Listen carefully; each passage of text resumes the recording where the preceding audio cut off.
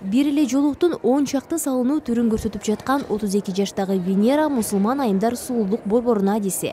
Венера өз ишинде жаңы турмуш курган келин жесекелик жаш кыздан тарта хиджаб кийип жолук салууну үйрөнүүнү каалаган кыз келиндерди көп жолуктурат жаңы жолук салынганда аял заты сулуулугум көрүнбөй калат деп корккондор көбүрөөк да. Эми турмушка чыга элек кыздар болсо мен турмушка чыга албай калам дегендер бар.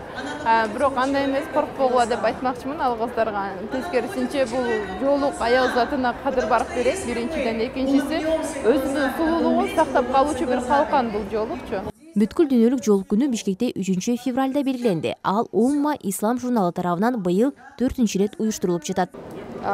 Жолуктун мындай арулугун биз жолуктун коомдогу ордун көрсөтүү жана стереотиптерди жоюу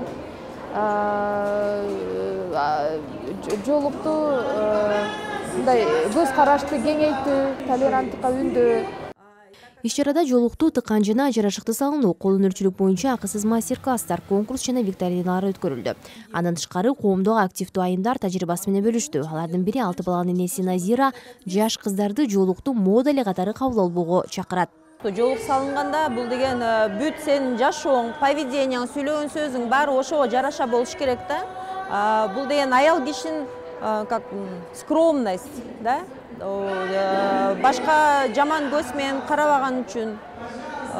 Мааниси ошол болуш керек да ошон үчүн туура түшүнүш керек. Бул мода эмес жолук күнүндө жолуктун исламдагы деги аялзаттын жашоосундагы орду тууралуу айтылып бүгүнкү күндө жолук салынган кыздардын кандай көйгөйлөргө туш болору калыптанган жаңылыш ой пикирлерди жокко чыгаруу түрдүү көз караштагы айымдарды үй бүлө карьера ден соолук сулуулук сыяктуу жалпы темаларда бириктирип диалогко чакыруу маселелери көтөрүлдү.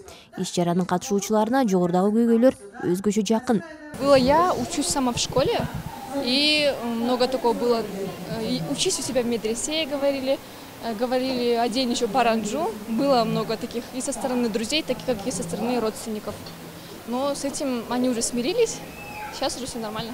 жүрөгүбүздү тазартыш үчүн эркек адамдардан э, жүзүбүздү катыш үчүн ыйманыбызды бекемдеш үчүн э, аллах тааланын бизге берген уже бул биздин азыркы заманда айткандай бул закону десек болот да жолук бул эң жаш кызды э, кооздогон макияждан дагы кооздогон нерсе деп ойлойм.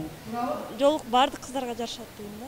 Бүткүл дүйнөлүк жолук күнү дүйнөдө эки миң он төртүнчү жылдан бери биринчи февралда белгиленип баштаган бул күндү белгилөө идеясын нью йорктун тургуну назма хан сунуштап жолук салынбаган дос тааныштарын бир күн аны салынып көрүүгө чакырган бишкектеги жолук күнү иш чарасына беш жүздөн ашуун кыз келиндер катышты ошто дал ушундай иш чара биринчи февралда өткөрүлгөн эле айгерим акылбекова алишер болотбеков азаттык бишкек.